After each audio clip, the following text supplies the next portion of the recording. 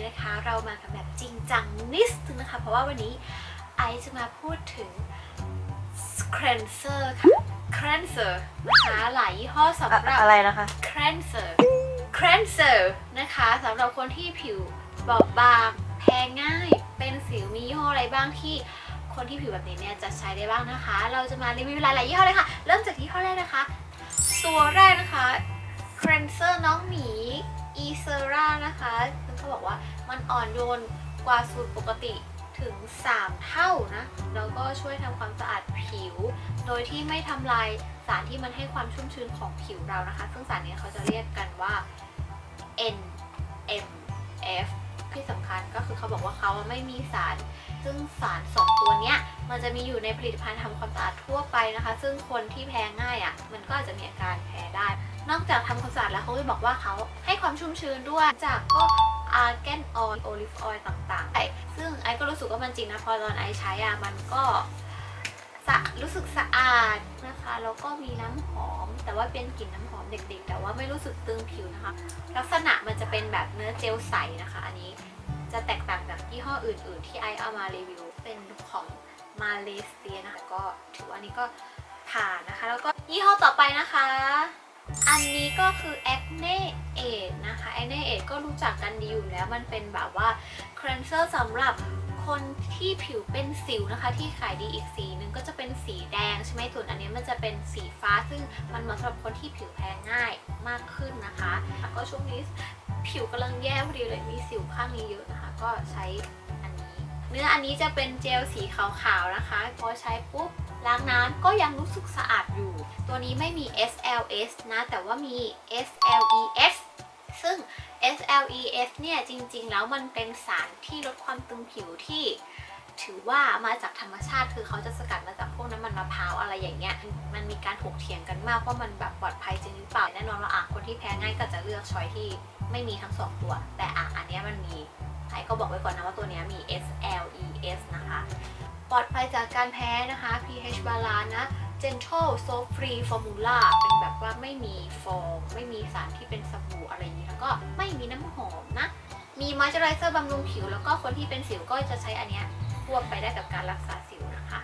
ต่อไปนะคะก็คือ อันนี้จะเล็กหน่อย เพราะว่าเราสั่งมาเพื่อลองเลยนะคะ ตัวนี้เนี่ยเป็น cleanser สำหรับคนผิวแพ้ง่ายเหมือนกันนะอ่อนโยนนะแล้วก็ pH balance soap free แล้วก็ที่สำคัญอันเนี้ยจะสามารถล้างหน้าโดยที่ไม่ใช้น้ำออกได้ด้วย เดี๋ยวเราจะมาดูส่วนประกอบที่ไอไป search มานะคะ ว่ามันเป็นยังไงบ้างสำหรับคนที่ผิวแพ้ง่ายนะคะ อันนี้มีน้ำหอมอยู่นะ มีน้ำหอมนะคะ มีแอลกอฮอล์ด้วยนะซึ่งแอลกอฮอล์อันนี้นะคะ เป็นแอลกอฮอล์ที่ดีที่ช่วยเพิ่มความชุ่มชื้นให้กับผิว สกัดจากน้ำมันธรรมชาตินะคะ แต่ก็บอกไว้ก่อนละกันสำหรับเผื่อคนที่แบบว่ากังวล ที่สำคัญโน้ตไว้เลยอีกอย่างหนึ่งก็คือตัวนี้มีพาราเบนด้วย พาราเบนคืออะไรนะคะ พาราเบนคือสารกันบูด ซึ่งเขาใส่มาทั้งหมด 3 ตัวด้วยกันเลยทำไมต้องมี 3 แบบใช่ไหมก็ เพราะว่าใส่แบบเดียวมันอาจจะไม่ไม่สามารถฆ่าเชื้อได้ขนาดนั้น ถ้าเกิดใส่สามแบบมันจะเหมือนว่ามีปฏิกิริยามากกว่าให้มันอยู่ได้นานมากขึ้น ยี่ห้อ Acne Aid กับ Physio Gel เนี่ยบริษัทเดียวกันนะก็มีหน้าแบบตอนที่ใช้รู้สึกว่าเนื้อผลิตภัณฑ์อะไรแบบใกล้กันมาก ต่อไปนะคะ อันนี้เป็นของแบรนด์ไทยนะ Nu Formula แบรนด์ที่ไอเพิ่งลองใช้ได้ไม่ไม่นาน แล้วก็อันเนี้ยคือเขาจะโน้ตไว้เลยว่าแบบเขาไม่มีอะไรบ้างซึ่งเยอะมากๆ ไม่มีซัลเฟต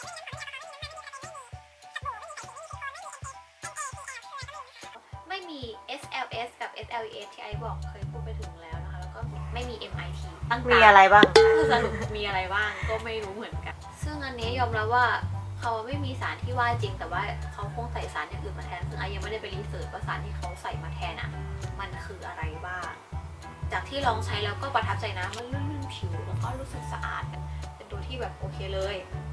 แต่ราคาเหมือนแบบจะแรงกว่า ชาวบ้านเขาหน่อยนะ 300 กว่า และตัวที่ไอใช้นะคะ อยู่ตลอดแล้วก็ยืนพื้นเลยเนี่ย ก็คืออันนี้เลยใช้มานานแล้ว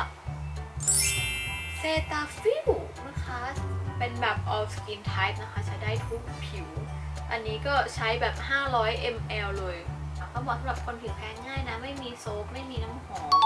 ไม่ทำให้แสบตา แล้วก็ยังให้ความชุ่มชื้นอยู่นะอันนี้สามารถใช้แบบไม่มีน้ำได้ด้วย ตัวนี้ไอไม่เคยดูส่วนประกอบแบบชัดๆ มาก่อน พอมาทำคลิปนี้ก็เลยมานั่งดู ก็แบบแอบตกใจเหมือนกันนะว่าเขามี น้ำนอกจากน้ำเปล่าใช่ไหมก็จะมีไอตัวที่เป็นแอลกอฮอล์สามชนิดเลยนะคะ ซึ่ง 3 ตัวนี้ก็เป็น 3 ตัวที่มันเป็นแอลกอฮอล์จากชนิดดีจากธรรมชาติที่ช่วยเพิ่มความชุ่มชื้นให้กับผิว นั่นเองก็เลยเป็นสาเหตุที่เวลาเราใช้แล้วอะมันจะแบบเรารู้สึกว่ามันจะลื่นๆค่ะ แล้วตัวนี้ก็มี SLS ด้วยนะคะ นั่นเลยค่ะ แต่ก็ อ่านส่วนประกอบแล้วก็บอกไว้ก่อนสำหรับทุกคนแล้วกัน แต่ว่าไอใช้มาต้องนานก็แบบไม่ได้แพ้อะไร แพมอะค่ะและนี่ก็คือ cleanser โอ้ยไอยี่ห้อที่ไอ